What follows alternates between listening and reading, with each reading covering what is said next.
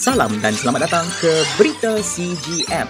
Nama saya Flava dan hari ini kita akan menerangkan mengenai pertarungan baru bermula minggu 6 hingga minggu 8 di MPL Malaysia musim 8. Bermula dari minggu 6, semua pasukan kumpulan A dan kumpulan B tidak akan bertengkar lagi dengan pasukan di dalam kumpulan mereka.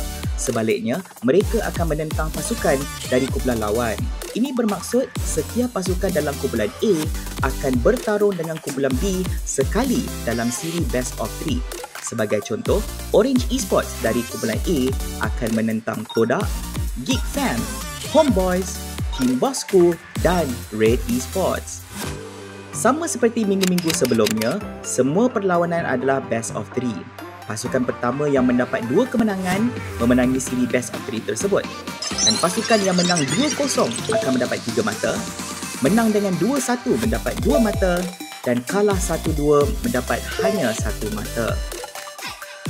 Dua pasukan teratas dalam setiap kumpulan selepas minggu 8 di peringkat kumpulan akan ditempatkan di bracket atas untuk playoffs di MPL Malaysia musim 8.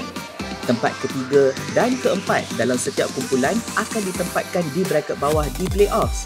Dan malangnya, pasukan terakhir dalam setiap kumpulan akan tersingkir dan tidak akan terus ke playoffs.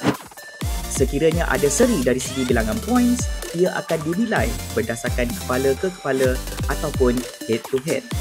Pastikan anda mengikuti halaman Facebook dan Instagram rasmi MPL Malaysia untuk maklumat lebih lanjut. Sekiranya anda menikmati video ini, klik like dan share video ini dengan rakan-rakan anda.